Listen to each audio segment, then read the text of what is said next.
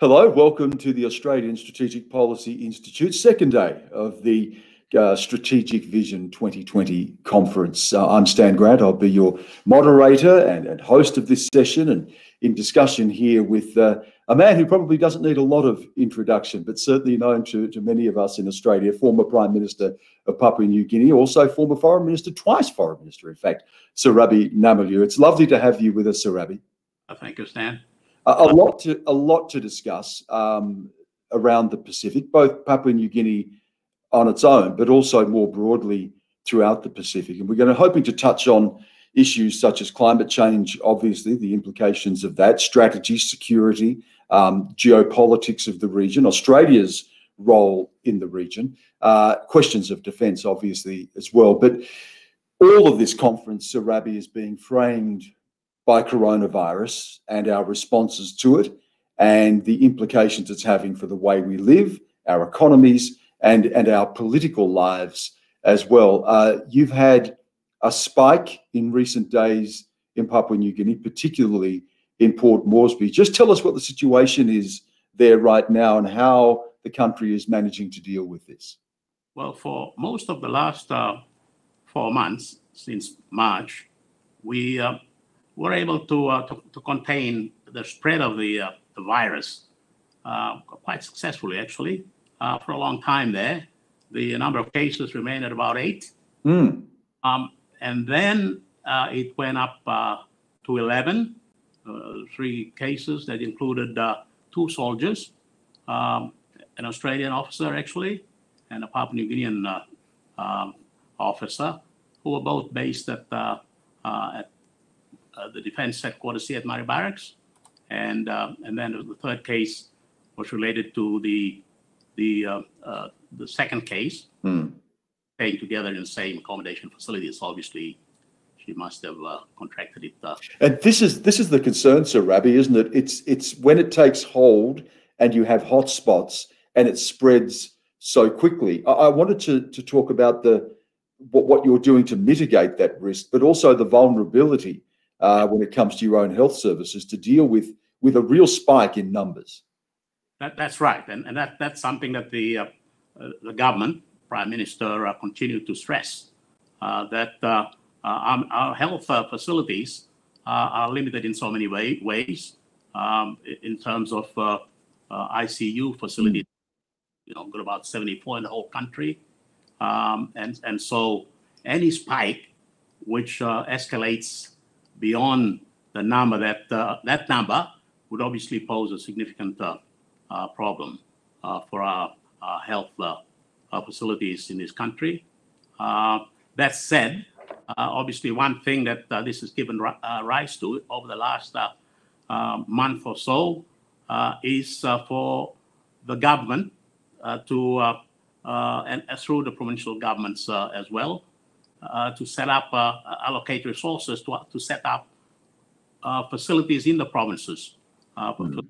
for, isolation and facilities for uh, quarantine. And so in an increasing number of provinces now, we have those facilities. fortunately, so far, they haven't had to be used. Mm. Although Port Moresby, because of the spike in the, over the last seven days in particular, where we've seen a, a, a um, a significant uh, increase from 17 last week to 27 by about 10 mm. uh, today. Um, the facilities that uh, have been set up here in Port Moresby are obviously um, uh, beginning to uh, uh, to experience a little bit of up, upward pressure in terms of the use of the quarantine and, and isolation facilities that have been set up.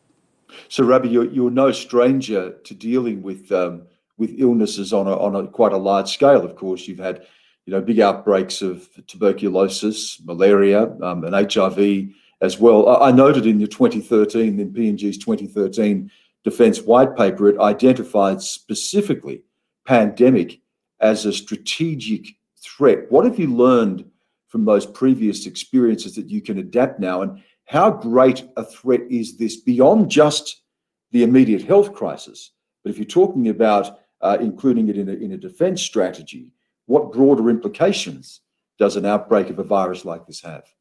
Yes, and and it, uh, obviously was addressed in in in the context of us having you know borders, obviously. Mm.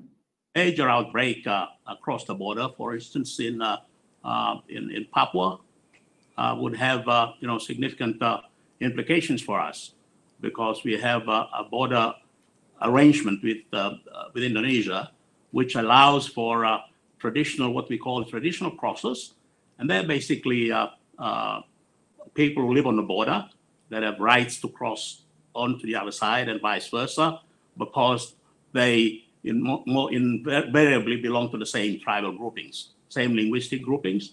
So that that's one reason. But the other reason also uh, was the, the number of outbreaks that we've had in this country, even though they may not have been as widespread throughout the country. Nonetheless, uh, when they've happened, they, they have affected uh, uh, a uh, you know population in, in our country that we we've uh, wanted to avoid ever since.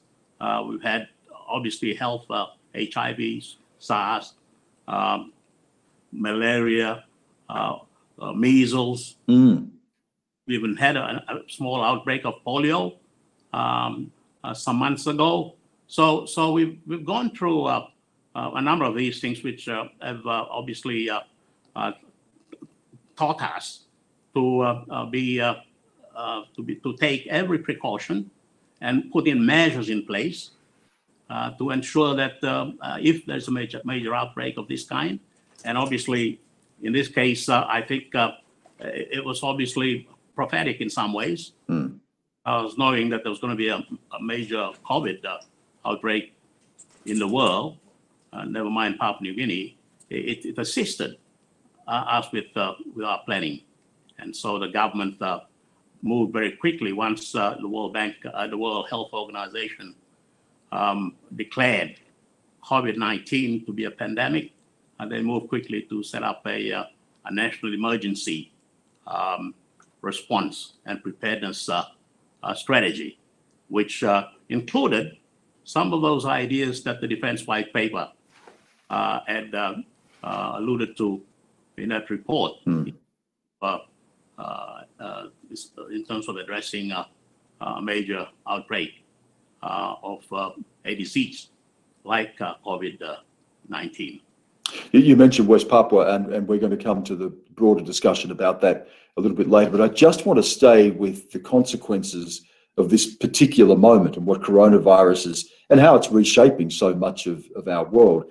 It's not just Papua New Guinea, but other parts of the Pacific as well. If you look at a country like Fiji, for instance, that relies so heavily on tourism, well, tourism everywhere now is just uh, completely damaged. I mean, that that industry is is on its knees. And does it does it then flow that a poorer region, a more economically stressed region, becomes also a more disordered and dangerous region?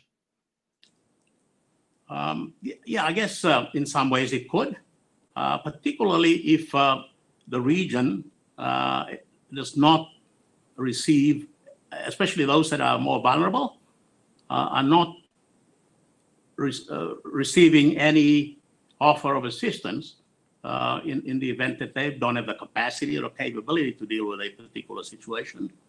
Um, and they are then in a, posi- in a position you know, to uh, look elsewhere.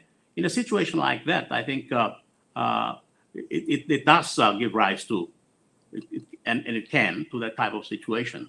Fortunately, in, in the present environment, at least in our case, and I'm sure it is true of the Pacific as a whole, where there have been an outbreak uh, of corona uh, outbreak, or where we've needed assistance to, to, to implement our strategy, we've had uh, the uh, we've been fortunate to have the assistance uh, of our partners in Australia. Obviously, it's been the most pro- and the most helpful of those partners.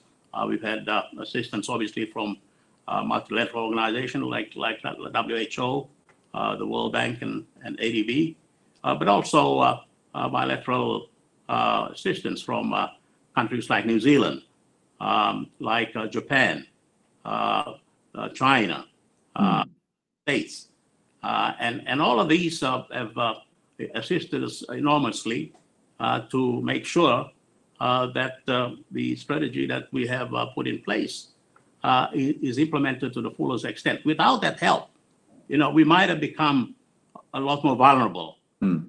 to uh, uh, having this outbreak uh, dealt with in a in a manner in which it would have got out out of hand a little bit.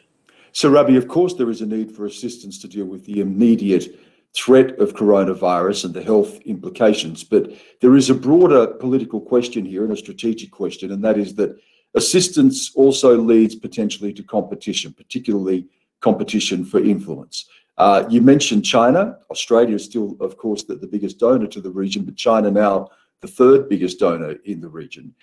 What are the expectations of Chinese assistance? Does that also, as some have described it as a as a debt trap, as if there, there is a quid pro quo, as if that money comes with strings and that strings is uh, and those strings are influence.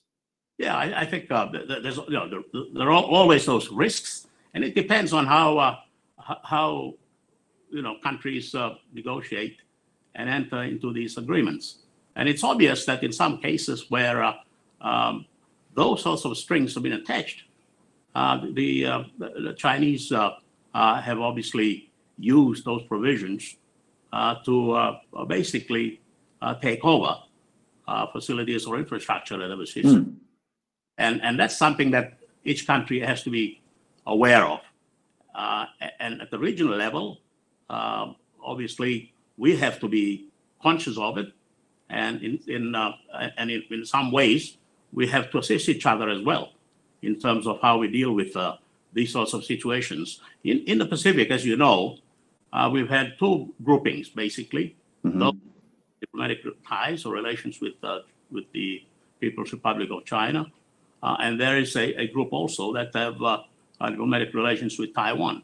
And, and so And, that, and and and so, Rabbie, that changes as we've seen with with with the Solomons, for instance, and that is is seen as a direct result of Beijing pressure. That's right. And and so that's those are the sorts sorts of questions uh, that become uh, a real challenge for for countries in the Pacific. You know, how do we address these types of questions? For instance, we've had diplomatic relations with China uh, since um, independence, so we've had a long uh, relationship with uh, China in that time. But we've also had uh, trade uh, relations with Taiwan. We have a separate uh, um, arrangements with them. They have a trade office here in, um, in in Papua New Guinea, Port Moresby, and and so we've been able to to deal with both parties for quite quite a long time. But but but not so Rabbie without some criticism, because there was criticism from Taipei that that PNG was downgrading its relations with Taiwan because of pressure from Beijing. Is that a legitimate criticism? Yeah, I think uh, I think there's obviously been pressure. There's always been pressure. Uh, even uh, actually, has been pressure that goes back to the very beginning, where there was pressure not to allow them at all, even to set up a, a trade mission uh, here in in, in uh, Papua New Guinea. But uh, in the end, uh, we managed to, uh, to persuade them that the trade mission was primarily for trade and investment purposes that we wanted the, Taiwanese government to assist where they um, have offered previously to uh, assist us in in, uh, in in projects which uh, they have the expertise to assist us with, particularly in agriculture.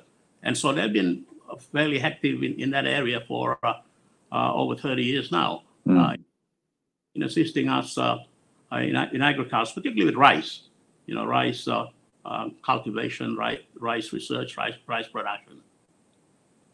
We're getting a lot of comment initially and questions coming through, Sir Rabbie, specifically about China. It's obviously eliciting a, a, a lot of interest and questions about the negative consequences of engaging with China. How does PNG perceive China's role? Um, will China be a more supportive partner for PNG than Australia? I, I wanted to just take those and and focus on on Papua New Guinea and China. PNG had signed up to the to uh, the Belt and Road Initiative. Uh, and the expectations that comes with this, I want to specifically ask you about Papua New Guinea's decision to vote yes in a Human Rights Council, UN Human Rights Council resolution supporting Beijing's national security law in Hong Kong. Could that be seen as acquiescing to that power from Beijing and the strings that are attached to financial support and investment? Uh, it could it could be seen and interpreted in, in that way. Uh, not uh, being privy to uh, uh, what happened uh, when that vote was taken, I would assume that they would have made Uh, a uh, uh, an assessment and a calculation that this would obviously help to support the relationship, and that perhaps in view of the, the Belt and Road um, arrangements that uh, we're part of, uh, that that was something that uh, would have, to some extent, influenced whatever decision that was arrived at.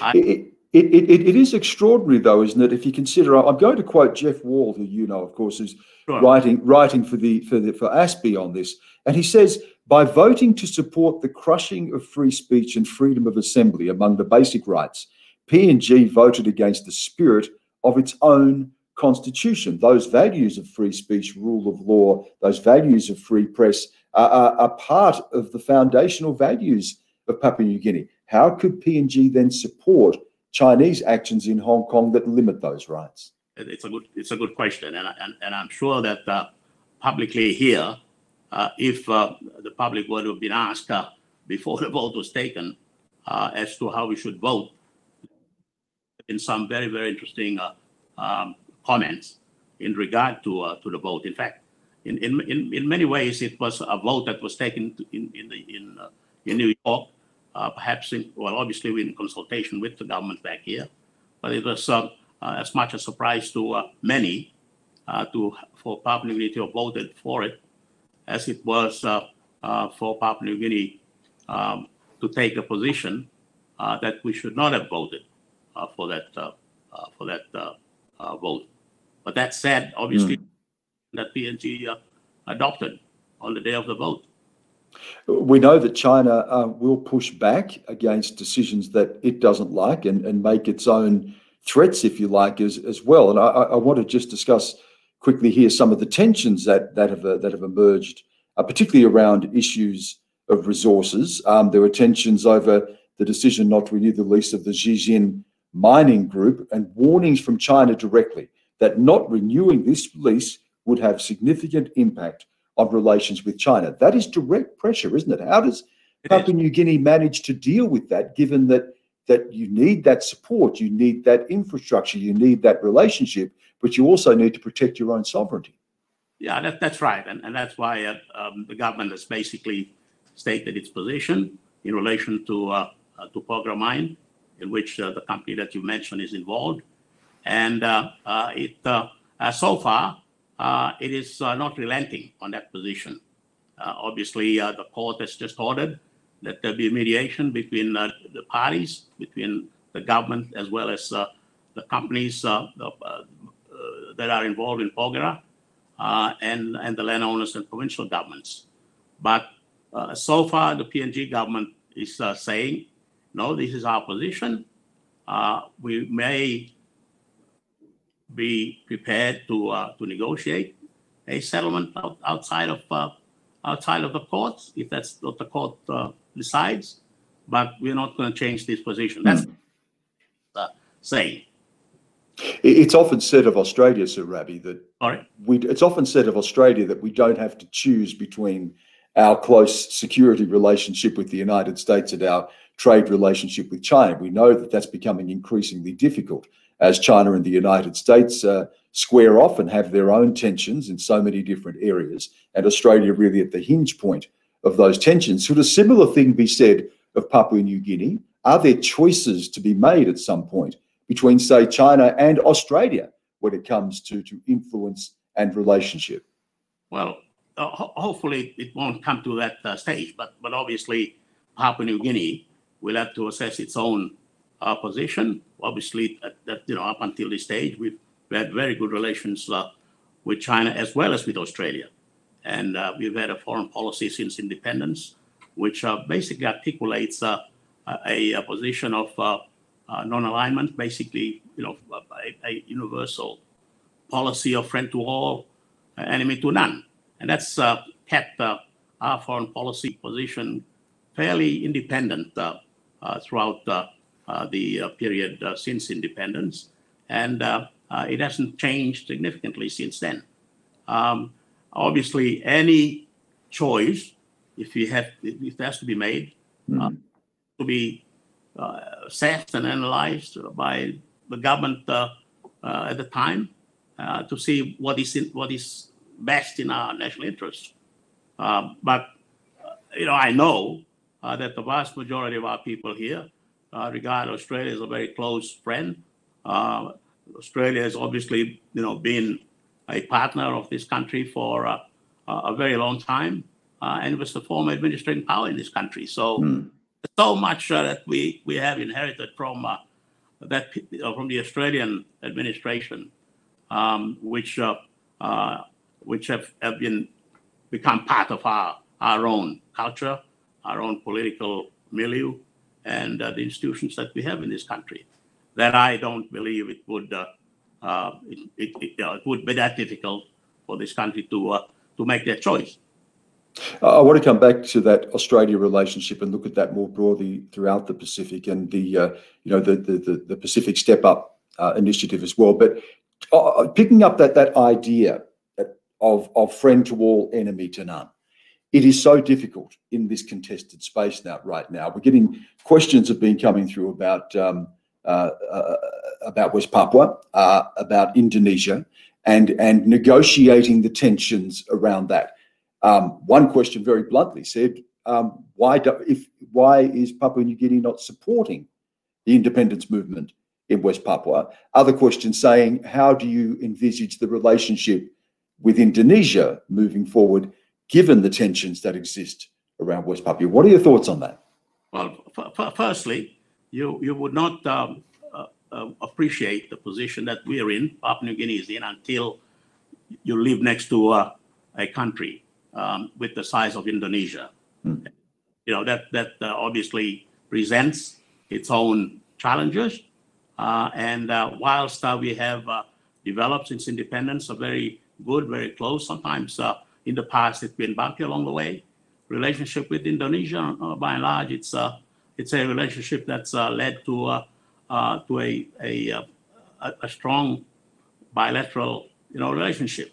That said, we've always we've all also used the opportunity on occasions in the past to um, raise this issue in, in, West Papua with the Indonesian government the official level, even though we recognize that it is an internal matter for the Indonesian government.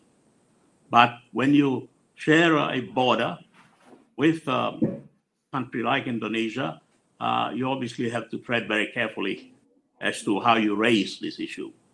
Um, that said, uh, obviously there are people along living along the border who belong to the same ethnic groupings, same mm. language, same culture. They move to and fro, and that was something that uh, was recognized by both governments uh, at the beginning when uh, they they entered into uh, uh, this bilateral uh, relationship.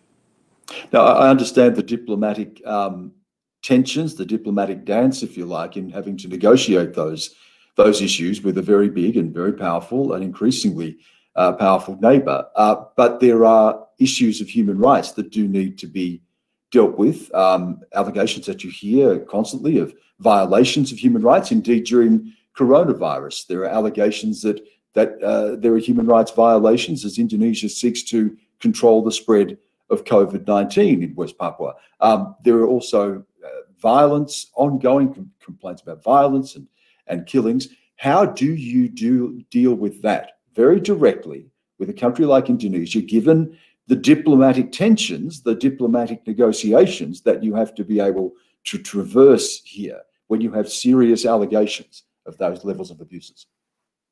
And the way that we've dealt with that since independence is to use the framework that uh, the bilateral framework that we've established, uh, because it, it, amongst other things, it enables both uh, countries to, to meet uh, at least once or twice a year, where issues of this nature can be raised at that sort of level, and they have in fact been raised at that uh, uh, at that level whenever these uh, bilateral meetings have been held.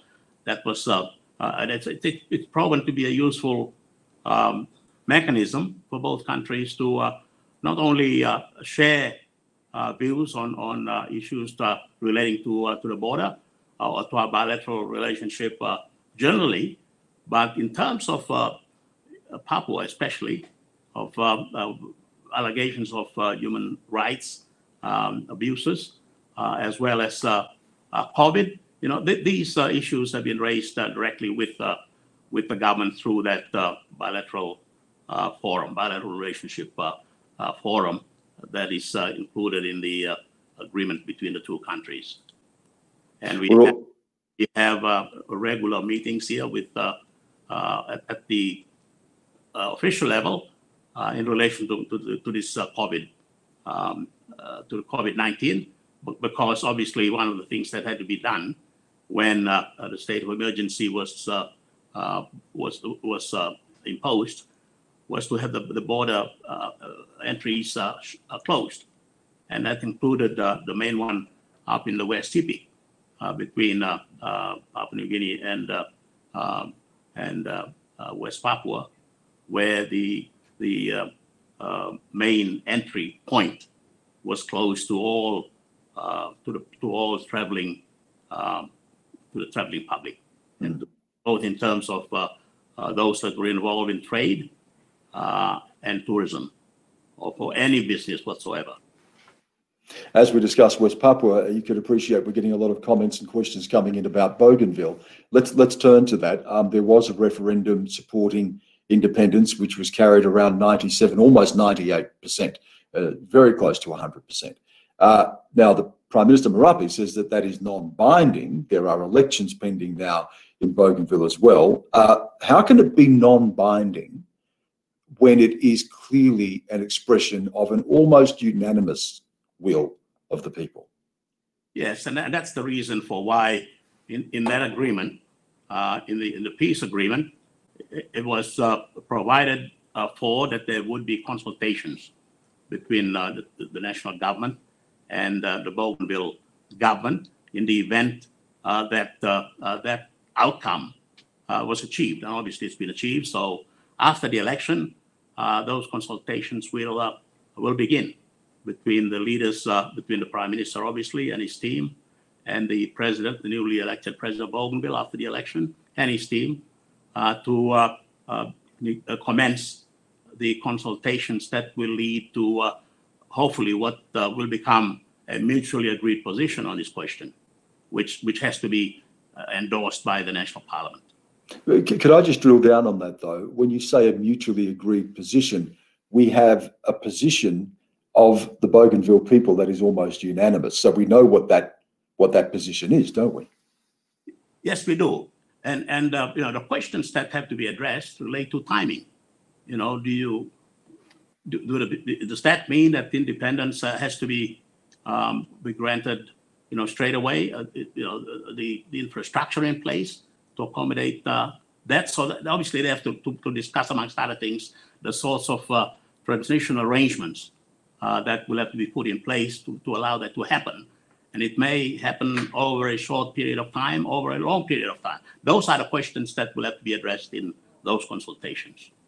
When we're talking about independence movements, whether it be West Papua, whether it be Bougainville, these are clearly big challenges for sovereignty. And history tells us how difficult these things can be to negotiate, how dangerous they can be. And we know how violent uh, this can be as well. You were, while you were Prime Minister, the rebellion, of course, in Bougainville, as Foreign Minister, you were part of, of, of the negotiations there uh, as well. What are the concerns moving forward about the increasing pressure?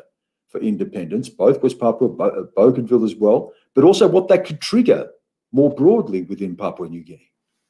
Yeah, I think it's uh, in, in relation to Bougainville, the- Bougainville um, people obviously uh, want to make sure that uh, whatever uh, whatever agreed position that is uh, arrived at by both uh, the, the national government and the Bougainville um, government is one that will allow them or enable them uh, to uh, uh, have that ob- objective uh, achieved, but hopefully uh, over a period of time that will enable them to put in the, the uh, uh, appropriate uh, and necessary infrastructure, the institutions that are required uh, during a transitional period, uh, and the economic uh, base that is required for an independent nation to stand on its own feet.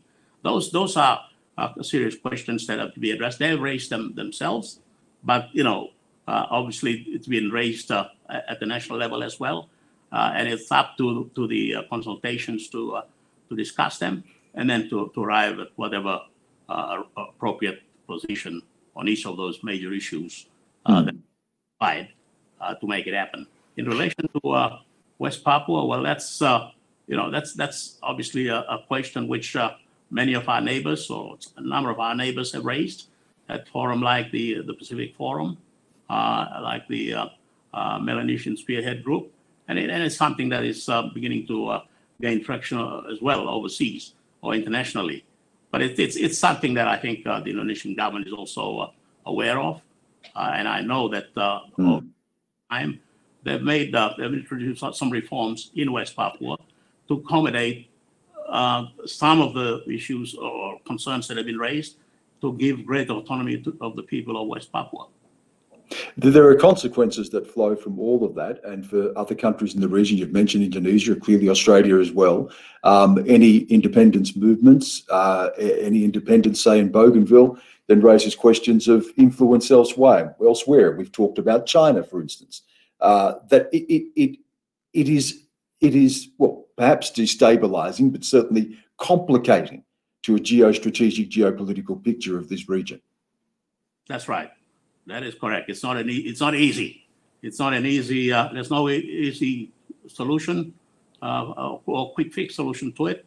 It's something that uh, you need to uh, to discuss over and over and over a period of a long period of time because it's uh, it's a difficult and complex uh, issue, and it, it requires you know cool heads mm. to to address the issue um, hopefully with a view to uh, uh, to coming up with uh, a, you know a, a, solution that could gradually over a period of time give greater autonomy to the people of West Papua.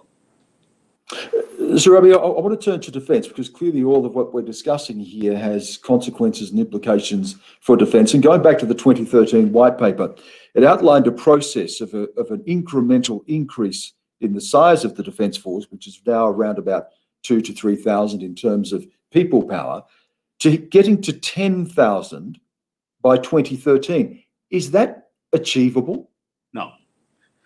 It is not achievable, or it wasn't uh, obviously achievable 2013, uh, or even the time frame that was. Uh, well, to 2030, they're talking about by hitting that number, but you don't believe that's that's possible. Well, it, it could be possible, but I think uh, it will be a difficult road to get there. Uh, so if we haven't achieved uh, even half of that since 2008, uh, 13, then, then obviously it, it just shows the challenges that are involved in, in making that happen.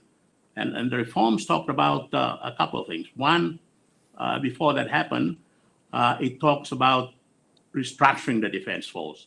So you have the three mm uh, being established uh, as, the, uh, as their own uh, silo units, so that each uh, element, let's say that you know the army or the defense, uh, the navy, and and the element have got their own structure, which would enable them to have their own budget, which would enable them to obviously decide their own priorities. Something which cannot be done now under the present arrangement.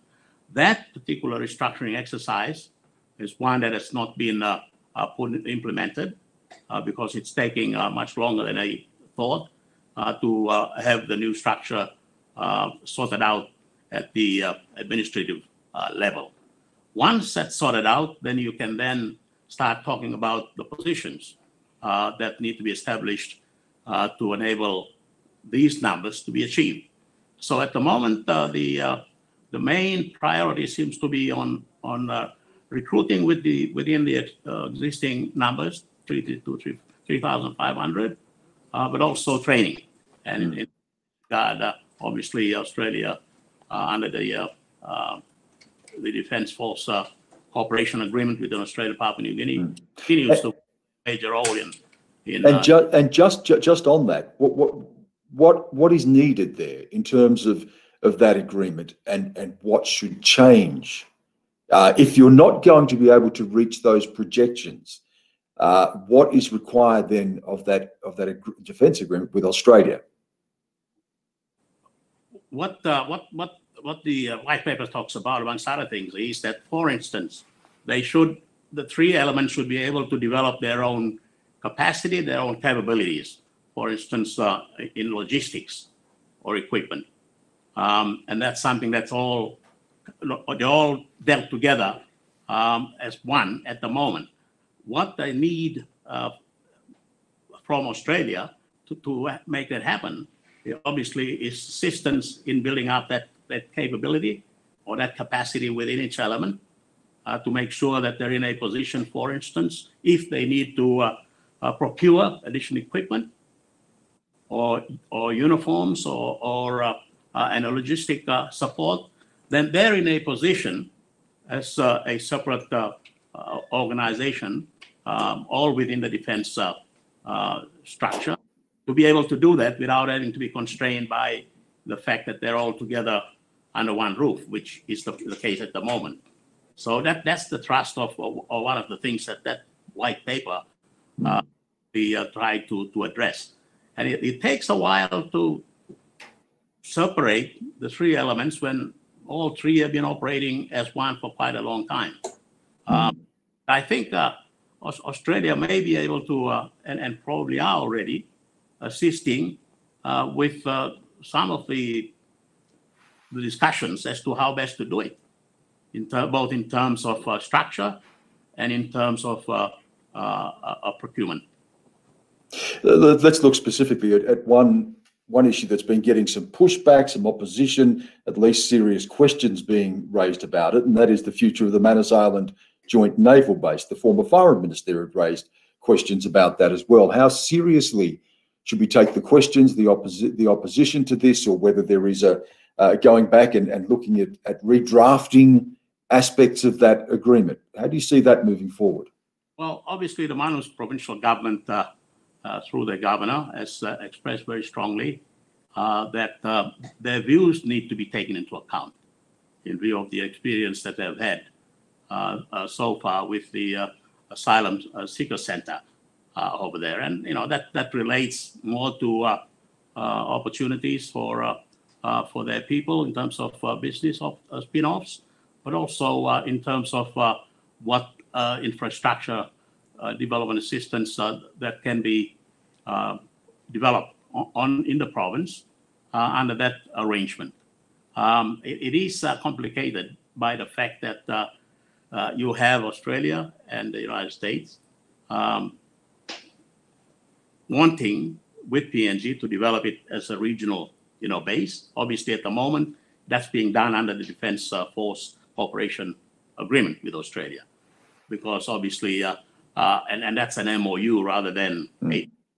a, which allows uh, uh, for that to to happen. but there are also serious policy questions. if we have to go beyond that, and that's something that the government needs to uh, to address.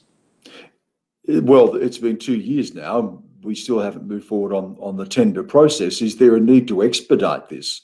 Um, is this a go slow in your view from Australia? That's that that's that's uh, unnecessary or, or, or unhelpful. Well, as, as I understand it, uh, they've actually done you know started uh, work on on some facilities over there in terms of construction and that a major contractor uh, has been uh, selected to uh, to do some of the work, and that they're, they're going ahead and, and doing it.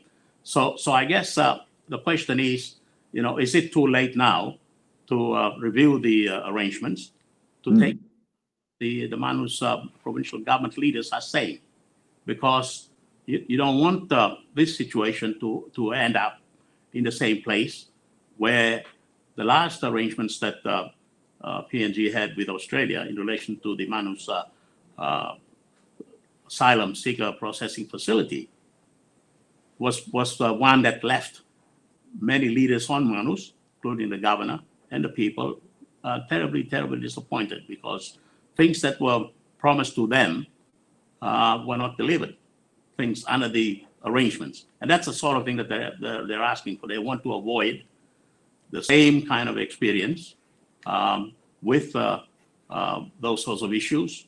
And they would like a review of the arrangements so that their views are fully taken into account. And of course, this feeds into the broader question of competition throughout the region and military competition throughout the region. And just returning to the earlier conversation we had about China and China's influence, the potential of China seeking a military base within the Pacific as well. And we saw questions raised around Vanuatu in the past. But particularly as China's influence increases, particularly as we see countries hit hard by coronavirus and, and, and sustaining economic damage, does that then become uh, a significant factor as well? That there is potential if China sought to establish a base, both economic, uh, you know, economic benefits that may flow, infrastructure benefits that may flow, but that raises really strategic questions diplomatically and, and strategically throughout the region for Australia, Papua New Guinea, uh, other countries in the region, the United States. Yeah, and, and, that's right, and, and those are legitimate questions, and that's one that's you know amongst those a question that we are really concerned about. the policy question that needs to be addressed is whether a regional base being set up by on Manus, either by the Chinese or by Australia in the United States, um, place Papua New Guinea in a position uh, where if a major conflict breaks out or a major dispute, um, will involve Papua New Guinea automatically, supporting the party uh, that or parties that are involved in, in setting up that base. And that's a serious question that I personally don't think has been addressed adequately enough because uh, uh, we, are not covered by the ANZUS Treaty, for instance, or, for, or uh, by any treaties with uh, China either. And it's, it's for a simple reason. You know, we've always espoused a um, friend to all, enemy to none uh, foreign policy, where we would prefer to uh, avoid situations like that, where establishing a regional base on Manus, for instance, can, and hopefully it will not, um, put Papua New Guinea in a difficult position where it becomes involved in something that uh, it was never intended for Papua New Guinea to be involved in, in the first place. Yeah, we have about 15, 20 minutes left, and, and there are many things I want to discuss, um, particularly more broadly throughout the region. But let's just stay with a couple of issues that have been appearing here in the questions and comments that relate specifically to Papua New Guinea. Uh, we've had a few questions uh, and a few comments around women and status of women, domestic violence, of course, being an ongoing concern, but also uh, the representation of women in Parliament. What is being done here, both on the uh, uh, dealing with, with the scourge of domestic violence and also looking at, at achieving greater representation for women in your parliament? Yeah, the, the, the first issue in relation to uh, domestic violence, obviously, uh, uh we had a huge uh, turnout for uh, uh, in, in, protests against the latest incidents in relation to a young woman who was obviously killed by her partner, which attracted widespread uh, and nationwide criticism uh, in leading to the whole country uh, turning out in protest against what has happened. I think it is becoming more and, and more acknowledged now that that's that's a, a, a, an issue which uh, needs to be addressed uh, at the national level. The government itself uh, is addressing or has made a commitment to put in additional measures that deal with uh, Uh, with uh, domestic, uh, you know, violence. Uh, it enacted a law. The Parliament enacted a law not too long ago, in fact, on this issue on domestic violence uh, to protect women and children. But obviously, there are questions like penalties, as well as other issues related to that, that need to be reviewed by the government. That's what the government has, has announced it will do.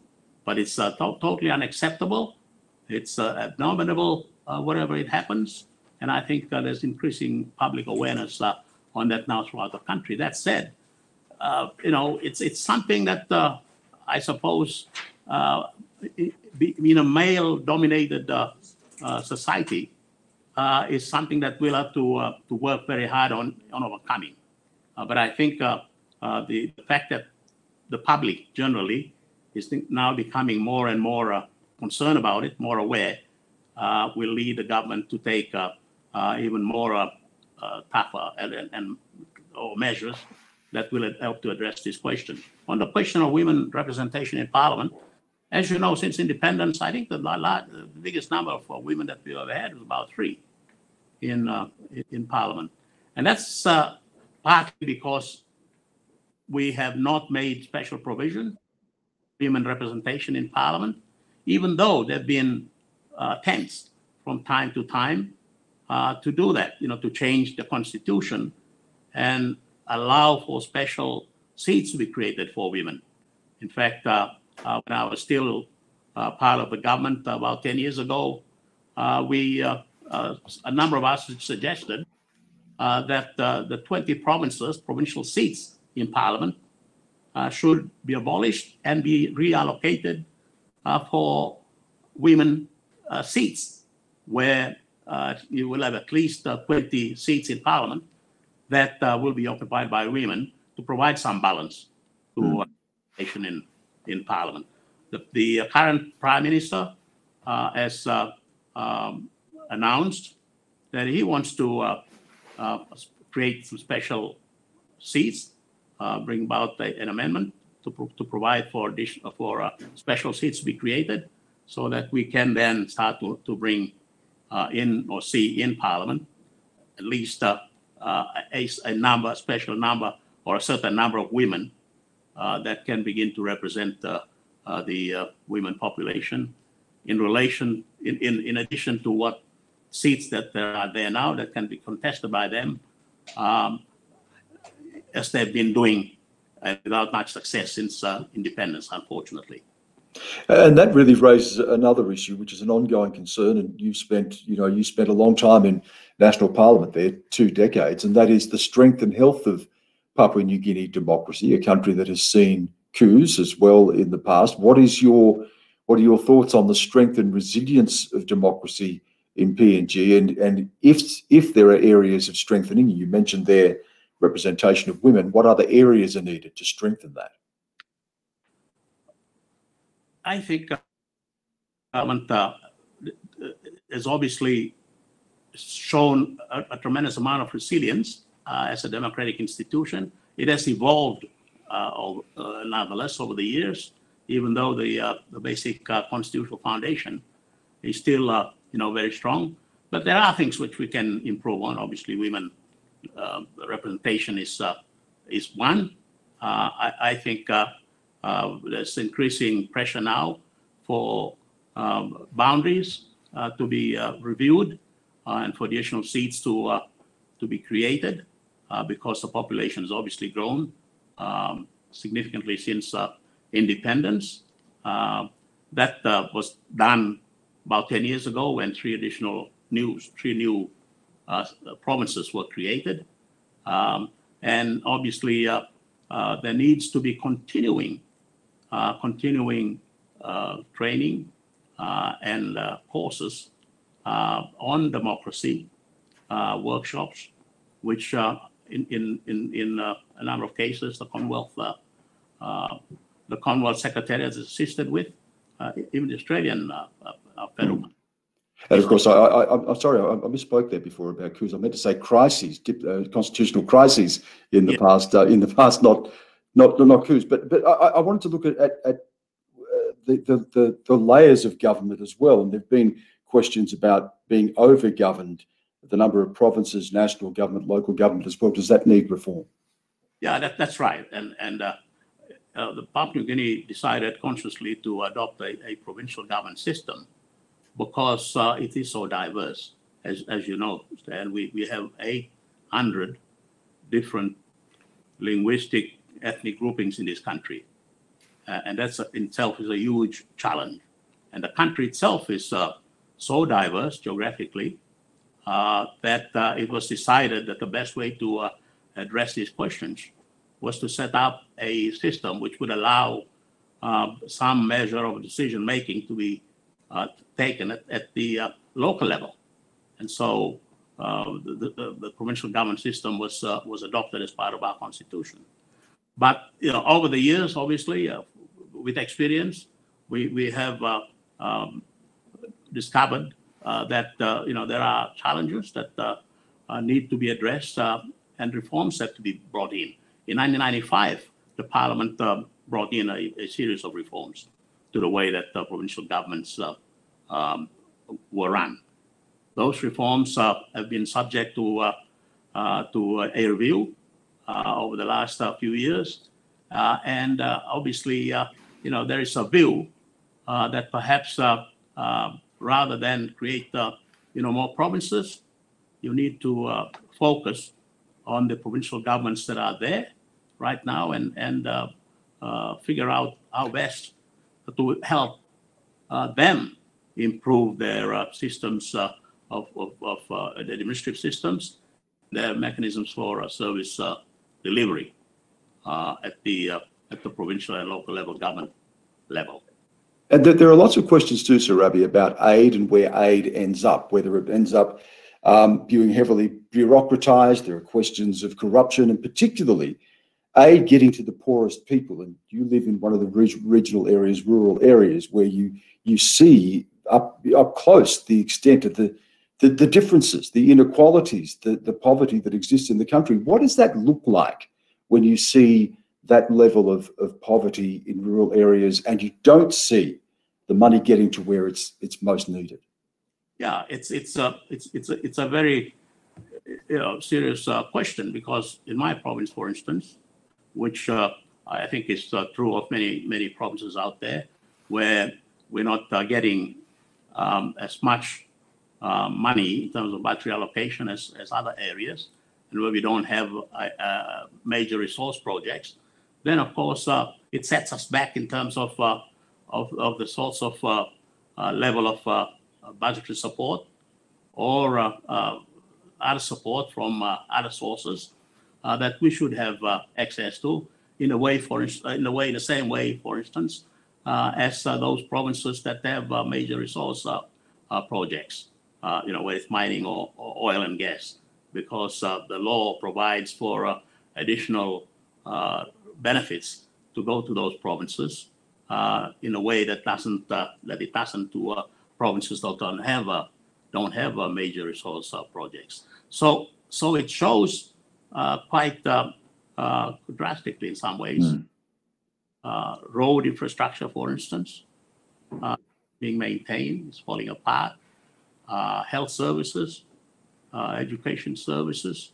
Uh, th- these are uh, basic services that should be, be getting any funding as a matter of priority, but it doesn't always come on time if it comes at all.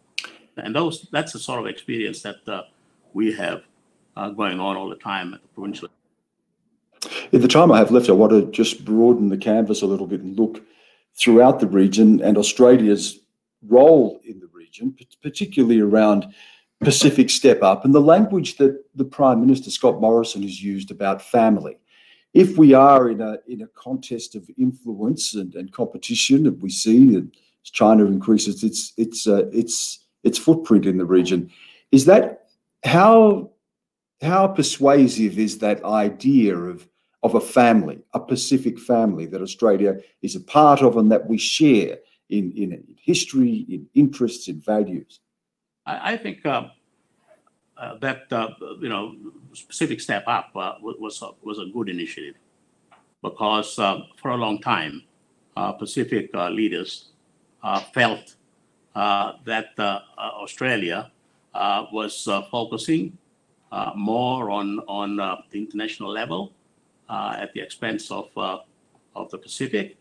Uh, and therefore, um, uh, gaps were developing, which resulted in, in other parties um, coming in and attempting to take advantage of those gaps, both in terms of development assistance as well as investment and other forms of, of assistance to, to the area.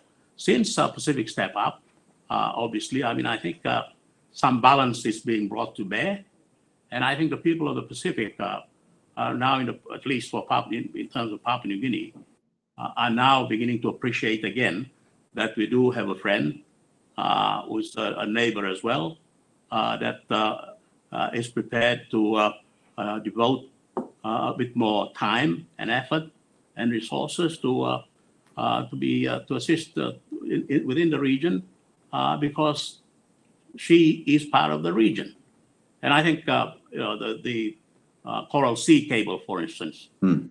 uh, was completed um, not too long ago to the Solomon Islands to P- and, and to PNG, is a a major major piece of infrastructure that has received a tremendous amount of goodwill in Papua New Guinea because uh, they, they regard that uh, as a project which Australia uh, has, has uh, not only built, but done so because it believes very strongly that it is part of this region and it is something that will assist not just these two countries, but the region enormously in terms of communication. That's not to say that there are not tensions, and specifically around climate change. Um, we have seen um, significant tensions around that. How do you see that going forward? I mean, clearly, the Pacific is at the front line of the impact of climate change, and we're seeing that already. Uh, into the future, we're going to see, for, we're forecast to see increasing movement of people, migration, refugees. There's going to be a requirement for more, financial assistance, looking at citizenship and residency arrangements. And then, of course, there is Australia's reality, economic reality, that fossil fuel is, is a significant supplier of jobs and, uh, and, and an enormous export industry. They are, they are very delicate interests and values and responsibilities to navigate, aren't they? They definitely are. And um, I mean, I think that's been demonstrated uh, demonstrated more than adequately uh, at the regional forum, uh, so, uh, both at the level of the Pacific Leaders Forum as well as elsewhere that there is uh, uh, obviously a, a strong dichotomy there between what uh, the small island states, how they feel about this question, and, and obviously Australia's you know, position um, in relation to climate change. It is something that is not easy. It's a major challenge. It's complex. Um, and it is something that uh, needs to continue to be on the table for leaders to discuss because uh, it is not uh, a black and white issue.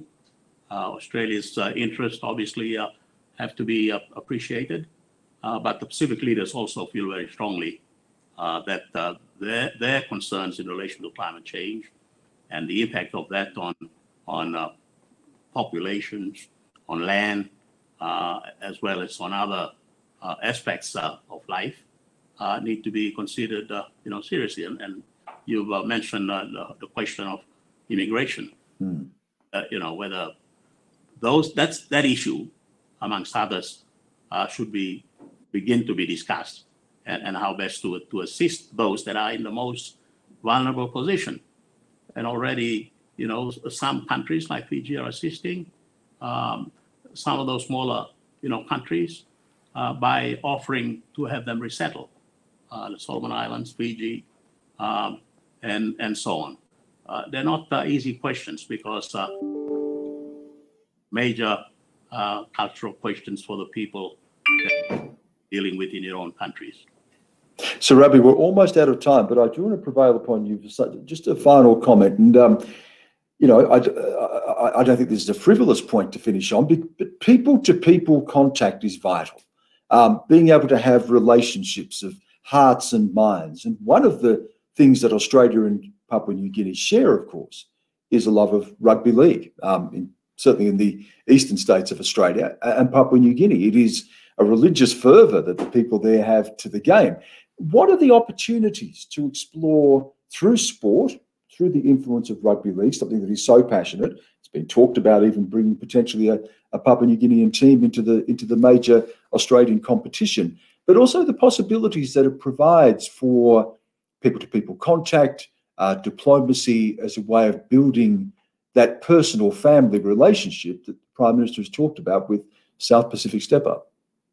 Yes, and, and that's something that we uh, uh, did uh, quite uh, well on. Actually, people to people uh, uh, relationship uh, between here and Australia was something that we focused on uh, quite a bit uh, when, I, when I was prime minister, and I managed to uh, uh, to uh, uh, get uh, Bob Hawke at the time, prime minister and, and Paul Keating to support the idea or proposal to have a thousand of our children um, be given scholarship sponsored to study in uh, and that went on for a number of years before that policy was discontinued.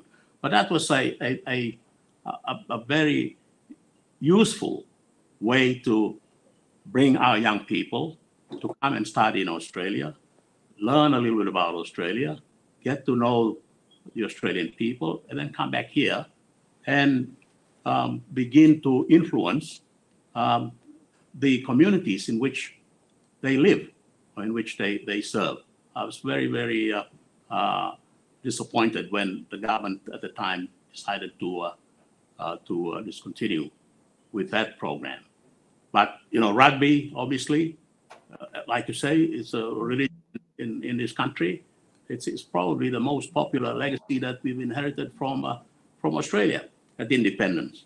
And every village has got its own little uh, rugby team. It's uh, it's, it's in, in some ways it's a great nation building um, uh, uh, activity because people play sport regardless of, of uh, what tribe they come from, uh, what, uh, uh, what district, what province.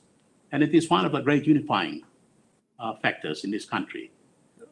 Rugby, because it brings our people together where they come from. We have a national team, which is called the Hunters. And as you may be aware, the Hunters have now been participating in the Queensland Intrust Super Cup and have been now for uh, the last uh, uh, five years, I think, or a bit more than five years. Um, the Hunters uh, won the Queensland Intrust uh, Intrust uh, Super Cup uh, the second year they played in the competition. So so that's obviously given a pathway to those that uh, played in the Hunters uh, to, uh, if they do well, to then play or, or, be offer themselves for recruitment to to the National Rugby League in Australia, and and some of them are in fact playing for teams in in, in the eastern states, in Melbourne or or in Sydney, or in in, in Brisbane. Uh, some of them uh, play in, in the Queensland uh, Intrust Intrust Super Cup competition to this day.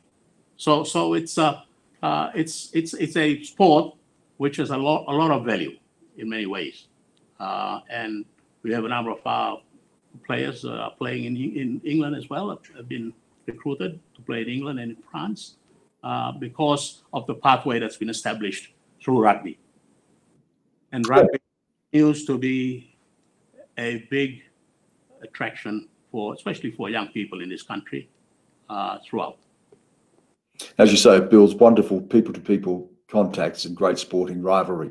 Uh, so, Rabbie, it's been an absolute pleasure to talk to you. I'm sure that everyone has enjoyed this this conversation. Um, your, your wisdom, your knowledge, your experience, uh, uh, you know, the way that you're able to apply that to the whole range of challenges that the Pacific and indeed our region and the world faces right now um, has been has been a real treat. Uh, we've tried to cover a lot of the issues raised by people on our questions. Again, apologies if we weren't able to get to to all of them. I um, hope you've enjoyed the conversation. So, Rabbie, it's been a pleasure. Thank you so much. Thank you very much, uh, Stan. And all the very best. Thank you.